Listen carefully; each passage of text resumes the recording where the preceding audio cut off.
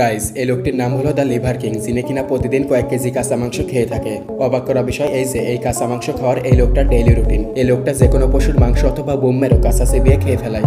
আরও জানলে অবাক হবেন, এই লোকটা যে কোনো প্রাণীর তাজা রক্ত খেয়ে থাকে, আর সেটা কম করে হলেও তিন থেকে চার গিলাস। লোকটি যে কোনো মাছ কাঁচা খেয়ে থাকে, প্লাস যে কোনো প্রাণীর মাংস খুব মজার সাথে খেয়ে থাকে। আর এসব কাঁচা মাংস লোকটি একা খায় না, বরং তার পুরো পরিবার ধরে কাঁচা মাংস খেয়ে থাকে। এরা এদের ডেলি বেস রুটিনে কাঁচা মাংস খেয়ে থাকে।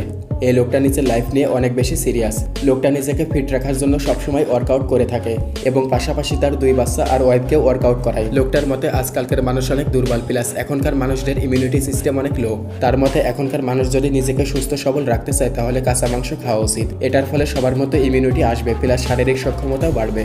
এদের বাড়ি কিছু মাস যাবৎ খাবার তৈরি হয় না, কারণ এরা ব্রেকফাস্ট লাঞ্চ ডিনারে কাঁচা মাংস এবং তাজা রক্ত খেয়ে থাকে। আর এই লোকটার বডি ফিটনেস দেখলে আপনারা বুঝতে পারবেন যে এই লোকটা দিনে কত পরিমাণ কাঁচা মাংস খেয়ে থাকে। তো গাইজ এই লোকটার বিষয়ে আপনাদের ধারণা কি? অবশ্যই কমেন্ট বক্সে জানাবেন। গাইজ এখন আপনারা অসাধারণ কিছু ম্যাজিক ট্রিক দেখার জন্য রেডি হয়ে যান। এখানে দেখুন, এখানে জ্যাক স্যান্ডউইচ খাচ্ছে, কিন্তু তখনই হঠাৎ করে একটা পাখি এসে স্যান্ডউইচ নিয়ে দৌড় দেয়। আর জ্যাক মহাশয় তখন একটা ট্রিক লাগায় এবং বালি দিয়ে স্যান্ডউইচ বানিয়ে ফেলায়।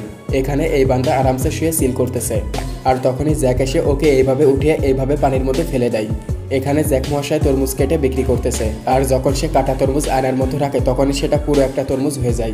মানে গাছ একদম নেক্সট লেভেল এখানে জ্যাক লেটার বক্সের কাছে লেটার পিক করতে আসে। কিন্তু যখনই বক্সের দিকে আসলো, তখনই বক্সটা ছোট হয়ে গেল।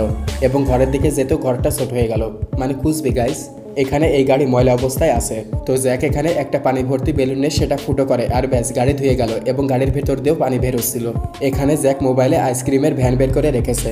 আর যখনই সে টাচ করে তখনই পিছনে ভ্যান চলে আসে এবং জ্যাক হুট করে ভেতরে গেল এবং সব আইসক্রিম নিয়ে দৌড় দিল। এখানে জ্যাক ঘুমিয়ে আছে কিন্তু সূর্য তো উঠে গেছে। কিন্তু জ্যাক তো এখন ঘুমাবে, এই জন্য সে ওঠে এবং সূর্যকে আবার ডুবিয়ে দিয়ে ঘুমিয়ে পড়ে। মানে এর ইডেটগুলো গাইস নেক্সট লেভেল তো গাইস চলুন এখন দেখে আসি অসাধারণ কিছু স্লোমো ফুটেজ ওয়াটার বেলুনটা যখন হাওয়াতে ফেলে ঘুষি দেওয়া হয়, তখন সেটাকে স্লো মোশনে দেখতে আসলে অনেক জোস লাগে। অনেক সুন্দর একটা ভিউ ক্রিয়েট হয়ে যায়।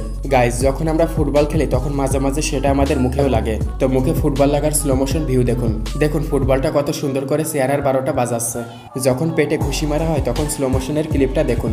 দেখুন পুরো বডি কীভাবে স্রোতের মতো ঢেউ খাচ্ছে দেখুন মাছি উড়তে কতটা অ্যাক্টিভ থাকে। যখনই কমলাতে আঘাত করা হলো, তখনই মাছি সাথে সাথে উড়ে গেল।